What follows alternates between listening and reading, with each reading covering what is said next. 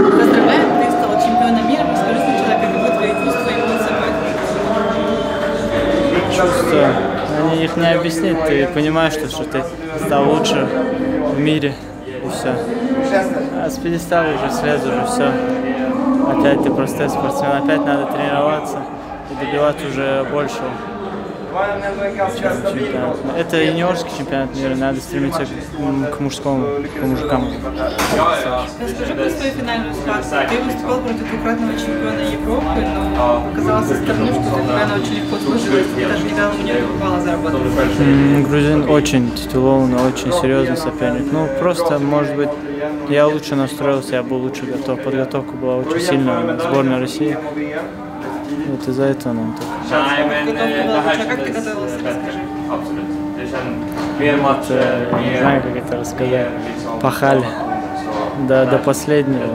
Прям знали то, что куда мы, когда мы будем уходить на этот ковер, знали то, что там надо до конца бороться. И на тренировках также до конца все делали. И вот результат. Что тренера говорили? Тренера говорили, это твой, твое место, ты должен забирать. Ты лучше его. Они правы были. Ну, настрой много решает.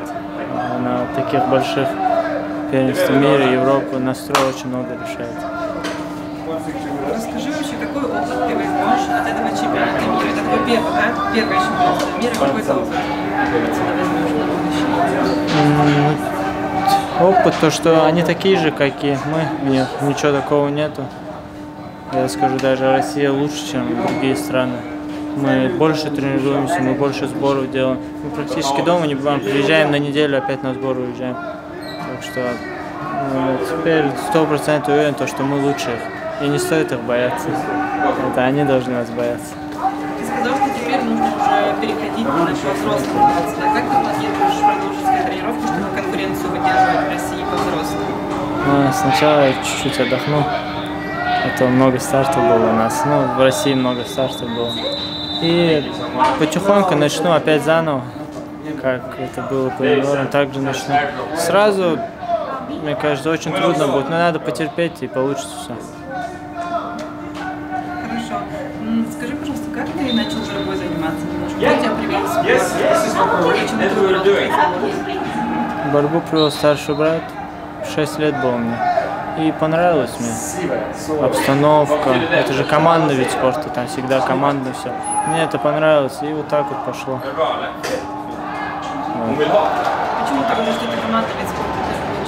Это. Ну, это на ковре ты за себя борешься, а за ковром уже там команда многое помогает, она настраивает тебя. Также на сборах вы командой тренируетесь, они готовят тебя. Есть ли борец, который ты берешь пример, на которого нравится? Мне нравится борьба Ибрагима Лобазанова. Он-то борется в таком же весе. Он очень быстро, очень бросково. Вот мне нравится его, его борьба. Понятно, что чемпионат мира проходил в России, да, но когда ты выходил на эту трибуну, просто взрывались. Помогала ли тебе поддержка, слышал ли ты, или не скандировали твое имя, или вообще, как тебе это Да, помогал очень сильно, честно. Поддержка с трибун, прям даже больше слышно было все. Ладно, как ты собираешься победу свою отмечать? Не знаю, приеду домой сначала к родителям. Мама очень переживала, отец тоже переживал. Братья здесь, старший, младший брат здесь. Дядя тоже здесь у меня. Двоюродные братья, да.